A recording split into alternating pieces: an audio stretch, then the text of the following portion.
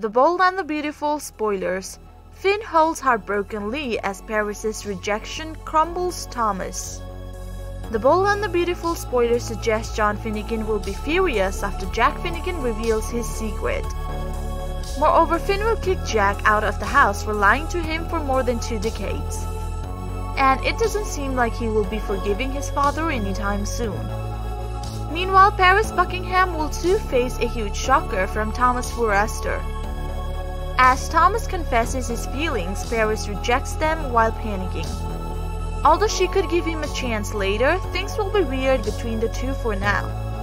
So without further ado, let's get right into the spoilers, shall we? Finn enraged. As Finn and Steffy Forrester are awaiting their parents' arrival, they will be curious to know why Li Finnegan wanted to have a meeting. Little do they know the cliff house is actually going to fall off the cliff. Moreover, Jack will reveal the truth and ask for forgiveness. How naive is he that he thinks he can just ask for forgiveness after keeping his family in the dark for so long?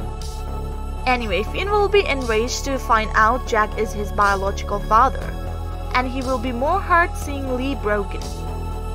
Also, he could focus on comforting her more at the time, so he will ask Jack to leave. Meanwhile, Steffy will be a good wife and hold Finn. Also, she will be worried if Sheila Carter has more plans coming up. Because this would be the perfect moment to destroy Finn's relationship with everyone. Thomas fails.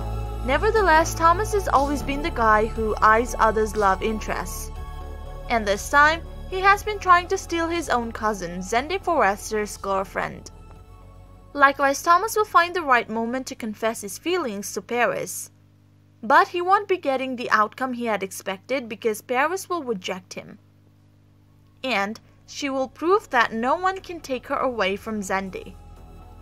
So, Thomas will be heartbroken and embarrassed that he thought Paris could be his woman instead.